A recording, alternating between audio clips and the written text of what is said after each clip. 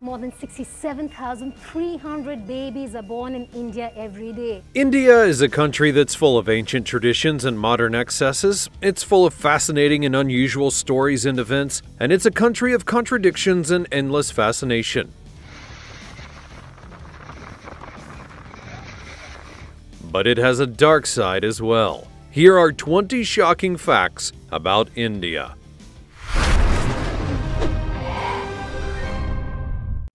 Number 20. Cows are considered sacred. In India, the cow is considered a sacred animal, and for this reason, there are a whole lot of cows just left to freely wander the streets all across the country. In fact, it's believed to be nearly 6 million cows that are just wandering around. Many of these cows will end up in urban areas, causing all kinds of mischief on the streets. Most are pretty benign and just cause traffic jams and poo-based problems, but every once in a while, one of these divine creatures goes rogue and turns to the dark side. There are very good reasons that cows are so revered within the country. In Hinduism, the cow holds sacred significance due to its association with a bunch of different deities. It's seen as a symbol of purity, nonviolence, and motherhood, and they're revered for providing essential resources like milk, dung for fuel, and labor for agricultural activities. The concept of ahimsa, or nonviolence, is deeply ingrained in Hindu philosophy, and this actually extends to the protection of all living beings, making the cow a symbol of gentleness and compassion. This is one of the reasons that India is the most vegetarian place on earth. Before we go on, like this video, smash the subscribe button, and click the notification bell right now, or this centipede will crawl on your face when you're sleeping. Now it's time for the fancy topic. Well, this may indeed be the dark side of India. This man is clearly doing some extraordinary things in order to overcome his disability. But the question I have is, does he really have to be doing it on food? And more specifically, with his armpit? Now, sometimes it really is best not to see how the sausage is made, but in the case of this guy's armpit pies or whatever, it's probably a good idea to see exactly how they're made so that you can vow to never ever eat them. What do you think about all this sweaty shenanigans? Would you eat an armpit flavored bun? As always, you can comment down below using the hashtag fancy topic and let me know what you think in regards to what you just saw on the screen. Number 19. India is the wettest inhabited place on Earth. This is a village in India and according to our old clipboard clutching friends at the Guinness Book of World Records, it is officially the wettest inhabited place on Earth. Now, this may come as a surprise to all of you who thought that it just rained all the time in England, well, it does, but that's just a persistent drizzle. This place in India has quite literally the heaviest rains of anywhere on the entire planet. They actually experience 467 inches of rain per year. To put this into perspective, London actually only has about 23 inches per year, whereas New York City features 46.6 inches per year. The monsoon season in India is actually six months long and can stretch all the way from May until October. The heavy rains make their way across the country during these months, but they also land even more heavily than anywhere else in this area of northeastern India. In fact, the place experiences 275 inches of rainfall in just two months of the peak monsoon season during June and July.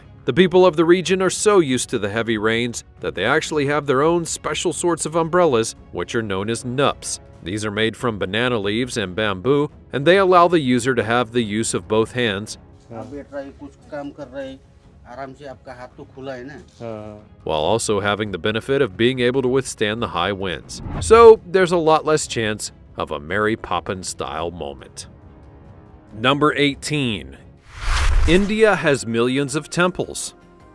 With 1.1 billion Hindu faithful in the entirety of 1.2 billion practicing Hindus worldwide, India has 94% of all the Hindus on the planet. It stands to reason then that it would also have a significant proportion of the world's Hindu temples as well. According to some counts, there are actually as many as 3 million Hindu temples in India, but this number is subject to change all the time as many more are being constructed in an ongoing campaign to build temples in every state across the country. Temples in India vary enormously in size and design, but they're all there with the purpose of connecting Hindus with their gods. The holy place has 23,000 temples all to itself, indicating the level of dedication to the building and maintenance of places of worship for the Hindu faith. As well as all the temples to Hinduism, there are also more than 300,000 mosques for the Muslim population all across India.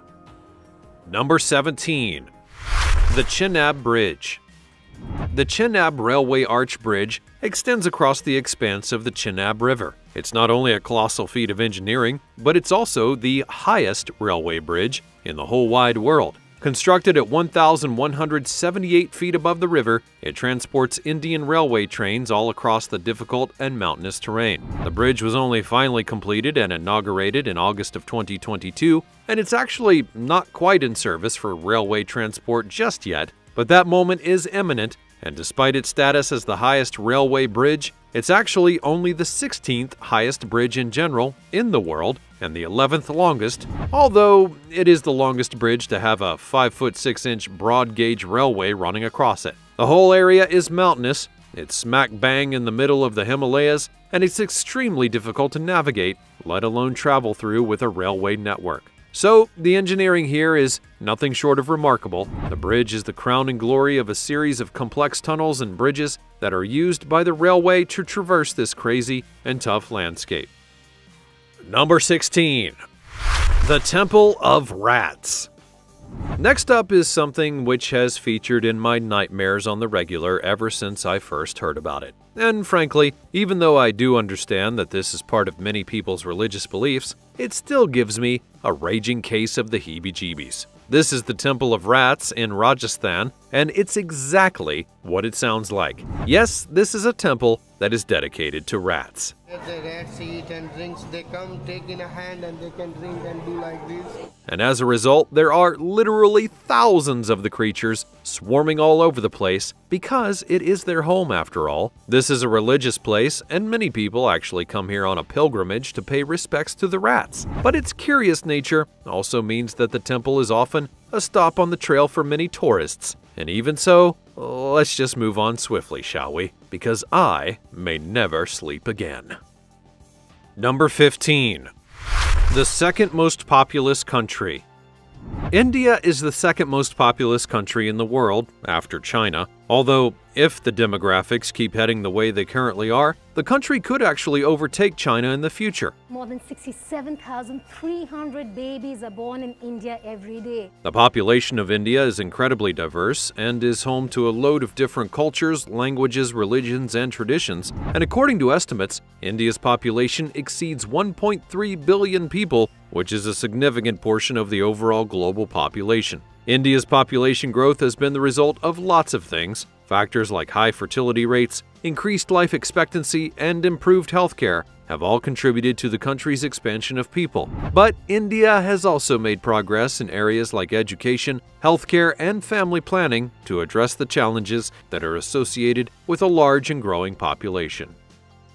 Number 14.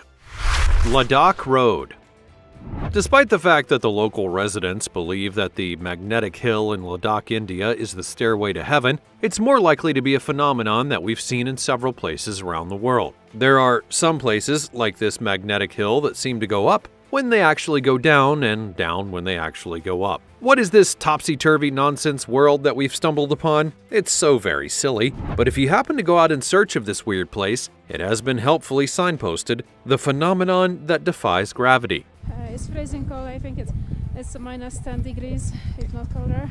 And a handy white box has been marked out on the road in which you are to park your vehicle, pop it into neutral, and then allow your car to alarmingly begin moving forward despite the fact that it seems to be uphill. This is the road known as Magnetic Road, but despite its appearance, it actually goes downhill. It's kinda crazy, right? As a tourist attraction, the place obviously has a few theories that are attached to its unusual phenomenon. Some locals are believers in the Stairway to Heaven theory, whereby the road was once the place which would convey the good on their way to heaven, and another idea is that the hill has an extra strong magnetic force that's enough to interfere with passing aircraft. This is, however, unproven. The final theory is the most accepted one that despite being unproven apparently, one reckons that this is a so-called Cyclops Hill, meaning that it will actually create an optical illusion which simply makes the driver think that they're looking at going uphill when they're actually in fact going downhill. Nonetheless, it's all enough to make you seasick. Number 13. The Mysterious Skeleton Lake And now for something completely gruesome. All the way back in 1942, a British guard made a discovery in Rupkund, India that freaked everyone out. There was a frozen lake that appeared to be stuffed full of skeletons. The ice was melting due to the summer conditions, and it had begun to reveal more and more bony remains that were floating in the waters and heaped all around the edge of the lake. Oh, As it was wartime, it was immediately assumed that these must be the bodies of enemy soldiers who had tried to sneak into India, but on further investigation, they found that these bodies were not fresh enough to be that. It seemed as though the bones were probably rather old indeed, although they couldn't determine how old, or, for that matter, what it was that might have actually killed over 200 people in this valley. Then, in 2004, an expedition to the site made a discovery. The bodies were dated to be from around 850 AD, and they all appeared to be from two distinct groups of people a tribe or family, and a group of locals. The artifacts discovered alongside the skeletons revealed that they were a group that was being led through the valley by guides from the local area. They had all died in the same kind of way, by heavy blows to the head by a rounded object from directly above. And that's when the plot thickened. Then they uncovered an ancient folk song from the region, which described a goddess that was made angry by outsiders damaging her mountains, and that she had flung enormous hailstones as hard as iron down upon them. It was concluded that these people had all been trapped in the valley when a terrible hailstorm came, and with hailstones as big as 9 inches in circumference, they had nowhere to get shelter and they simply died. How absolutely terrifying. Number 12. Gandhi. Mahatma Gandhi is sometimes known as the father of the nation in India for civil disobedience. and is one of the country's most beloved icons. His influence has extended far beyond India itself, and he's globally recognized as a symbol of peace, nonviolence, and the power of civil disobedience. Gandhi was the figurehead in India's struggle for independence from British colonial rule. His philosophy of nonviolent resistance, encapsulated in the term of something that I can't pronounce, was at the heart of the Indian independence movement. Through acts of civil disobedience, he had inspired millions to join the fight for freedom and also advocated for social reform, religious tolerance, and the enfranchisement of marginalized people. Since his assassination in 1948, his legacy has continued to influence civil rights movements and leaders worldwide, including Martin Luther King Jr. and Nelson Mandela. In India, his birthday of October 2nd is celebrated, and it's a national holiday that includes prayer services, tributes, and events promoting his values. Number 11. Hinduism is the oldest religion in the world. Hinduism is often regarded as one of the oldest religions, and it's believed that its roots trace back thousands of years. It's difficult to trace an exact path of the development of this complex and sprawling religion, but it is safe to say that it has been practiced all across the Indian subcontinent for millennia. The religious texts that are associated with it are some of the oldest sacred scriptures in the world. The Rig Veda is the oldest of the four Vedas and contains hymns and rituals that provide insights into the early religious beliefs of the ancient inhabitants of the region. Hinduism is unusual in that it doesn't have a single founder or a specific point of origin, but has actually evolved over thousands of years through a lot of cultural, philosophical, and religious ways. Number 10. Most Indians eat only with their fingers. Now, it's not unusual across the world to find various different ways of eating food, and in India, they generally use their hands to eat instead of cutlery. While to some cultures this may be unusual, there are literally billions of people for whom using their fingers to eat is simply the most sensible and available option. In Indian culture, the use of fingers to eat apparently began in teachings that go back thousands of years, each finger representing one of the five elements, and this plays a part in the preparation and consumption of food. There's a belief that if you join all of your fingers together, you'll be able to more fully enjoy the taste of what it is that you're consuming. It's also a mark of respect to eat with one's hands, well, with the right hand, since this is the one which is considered clean. To use the left one is not polite, for reasons I will leave to you to discern. Number 9. A village with no doors.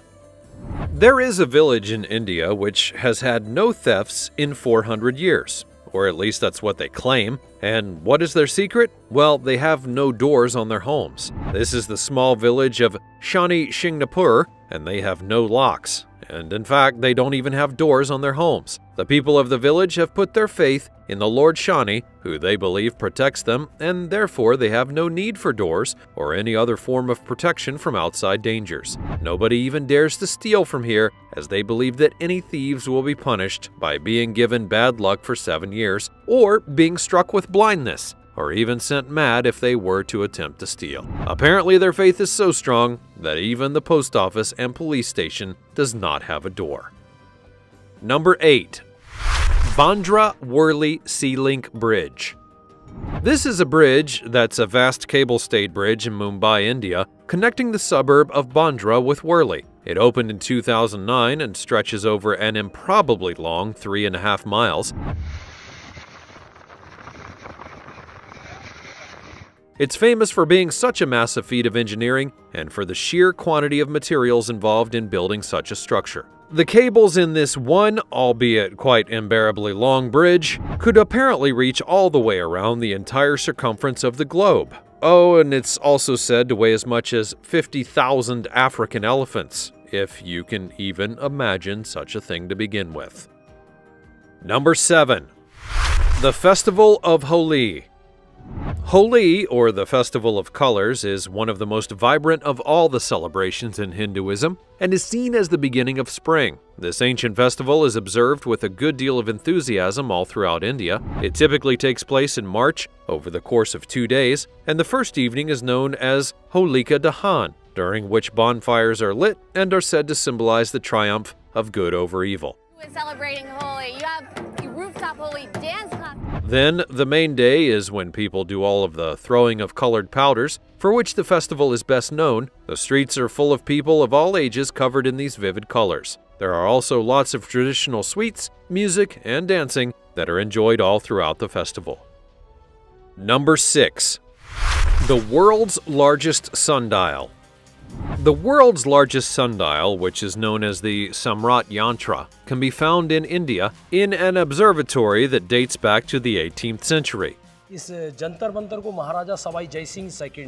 This giant sundial measures 88 feet tall, which is rather large for a sundial, you have to admit, and it also has an incline angle that's equal to the latitude of the place in which it sits. Now, it is designed to function as an equatorial sundial, providing accurate time readings with a precision of about 2 seconds, which is not bad for something which is really rather elderly. The sundial is made up of a massive triangular thing that is the part that casts the shadow, and a large sloping structure made of brick and lime plaster. The shadow cast by the triangular thing moves along the markings on the dial, and just like in a boring regular-sized sundial, it indicates the time of day. It's recognized as a UNESCO World Heritage Site and naturally attracts visitors and astronomers who are all apparently very interested in big instruments and probably also in the scientific achievements of ancient India. Number 5. The Taj Mahal is changing color. The Taj Mahal is one of India's biggest tourist attractions and draws in huge crowds every single day, millions per year in fact. It's a mausoleum from the 17th century, which was built by a man who was a emperor at the time. His queen had died in childbirth, and the heartbroken emperor had built the Taj Mahal as a memory to his beloved wife. The structure is quite remarkable, with its intricate latticework and designs in white marble, brick, and red sandstone, but as well as what can be seen by visitors to the monument, there are actually 20 rooms, which are all believed to be kept under lock and key. Recently, a petition had been filed by a member of India's main political party that demanded that all of these doors be opened in order to find out the real history of the structure. A judge clearly disagreed that this was an important thing to do and dismissed the case. The doors remain locked, and whatever secrets, if any, are inside remaining hidden. Although many of the Taj Mahal's secrets are yet to be revealed, it's also betraying signs of age and weathering that cannot be hidden. The high levels of pollution in the air have actually begun to change the pure white walls of the structure into a dingy and yellow color. India certainly suffers from some of the worst air pollution, and now the contaminants in the air are even damaging the inanimate objects as well. It's beginning to look a lot like the walls of a pub in the 1970s. Number 4. Coke and Pepsi are full of pesticides. People all over the place worry about how drinking fizzy pop may end up affecting their health, but that's usually because they're concerned about high levels of sugar or perhaps the effects of weird artificial sweeteners on their brains. But in India, there are some other distinctly alarming issues with the two most famous beverages in the world Coca Cola, and Pepsi. Apparently, there have been instances where pesticides were reportedly detected in both of the drinks in India, and naturally, people have become very worried about the safety of these sodas. It's true that some independent studies and investigations did find traces of pesticides, which included different ones, along with herbicides, in some samples of the carbonated drinks. So, what exactly is going on and what does it mean for these fizzy drinks and those who drink them? The controversy first got a hold of the public's imagination all the way back in the early 2000s when the Center for Science and Environment conducted testing on several soft drink brands that included Coca Cola and Pepsi. They claimed that they had found elevated levels of pesticides in these beverages, sparking public outrage and calls for more strict regulations. In response, both Coca Cola and Pepsi had challenged the findings, because of course they did and they asserted that their products complied with both Indian standards and international regulations. The companies argued that the detected pesticide levels were all within permissible limits that were set by regulatory authorities. But did you know that any level of pesticide was considered to be just fine in your pop? Well, me neither. But then again, you do learn something new every day here at the Fancy Banana Down, don't you? The pesticide controversy then led to a much more intense scrutiny of food safety standards, while leading to calls for more strict regulations in the beverage industry in India. So, where's the pesticide problem now, you may ask? Well, subsequent studies have produced a whole load of varying results, so nobody's really been able to get a grip on the issue. But it did draw the gross hidden secrets of the food industry to people's attention. So, since there's been a focus on the importance of rigorous monitoring and testing to ensure the safety of food and beverages consumed by the public, but naturally, when you're dealing with these sorts of corporations, the notion of transparency or responsibility is never really at the forefront of their business model. So suck it up, pesticides and all. Number 3. North Sentinel Island The Sentinelese are of the most isolated people on the planet. They actively reject any contact with the outside world, and they may have inhabited their island as a people for 55,000 years now. Complete isolation on a small island in the Indian Ocean means that the Sentinelese are violently protective of their territory and have murdered anyone that has poked their nose into their business. It does sound harsh, but with their neighboring islands' populations destroyed by disease that was imported from other places, any germ or virus that they might catch from an outsider would probably wipe them out. Obviously, it's tricky to understand anything much about a tribe that you can't really get near without receiving an arrow in the chest. And so, all that's known has been observed by a few nosy parkers on boats that were carefully moored further out than the arrows could reach off the coast of the island. In 1880, a British expedition would land on the island and discover the villages and houses abandoned. Presumably, the tribe had seen the invading force and then hidden themselves. The expeditioners did come across an old couple and some children and in the hideous wisdom of the colonial attitude, they then kidnapped the people from the island for scientific reasons. The Sentinelese quickly became sick with disease, and the older people all perished. The children were returned to the island, but how many were then infected with deadly diseases is obviously unknown. It's no wonder that the outsider is met with hostility by the Sentinelese. Various attempts at communication have been made throughout the 1970s and 80s, with gifts being left on the beaches but most were rejected and then buried by the tribe. More recently, it's finally been accepted that this is probably the safest for the Sentinelese tribe if they're just left in peace. I guess the nosy Parkers have finally gotten the message. Number 2. The Kumbh Mela. The Kumbh Mela is pretty much one of the largest religious gatherings on earth and attracts literally millions of pilgrims to the banks of sacred rivers in India. Held periodically every 12 years and 6 years, depending on the type of festival, this Hindu festival is renowned for its sheer enormous size as well as its colossal spiritual significance. It rotates between four locations, all at sites of significant spiritual importance where holy waters meet. Pilgrims will gather to take a dip in these sacred rivers, believing that it cleanses them of sins and leads to spiritual liberation. And who doesn't want a little bit of that, I ask you? The vast congregations during the festivals are actually so immense that they can be observed from space. It's crazy, but it's true. And also, satellite imagery has captured the sprawling tent cities, the colorful processions, and the millions of people participating in various religious rituals. Now, the temporary structures, makeshift accommodations, and the overall scale of the event create a quite visual spectacle that stands out even from space, and it's basically totally bananas. Number 1. Frogs are married. Varanasi is one of the oldest continuously inhabited cities in the world, and it holds deep cultural and spiritual significance.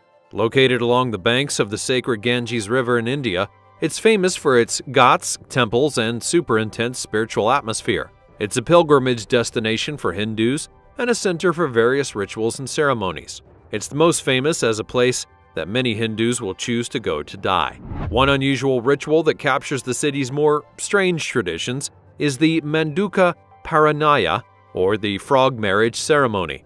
This bizarre event takes place annually and involves the symbolic marriage of two frogs. The ritual is believed to appease the rain gods while bringing about a good monsoon, which is essential for a good harvest and prosperity. The ceremony involves dressing up the frogs as bride and groom, complete with traditional attire and accessories. A priest will conduct the wedding ritual with the chanting of mantras and performing of traditional customs, a whole lot like a regular sort of human marriage ceremony. Locals and visitors alike all participate in this unique event albeit with a sense of humor, because even though it's tradition, it's still slightly silly. Well, that's it from today's trip into the colorful and dynamic country of India. Do you fancy a trip there? And will it be on your bucket list? Go ahead and let me know all about it in the comments section down below. Check out the other cool things on the screen, and I'll see you next time.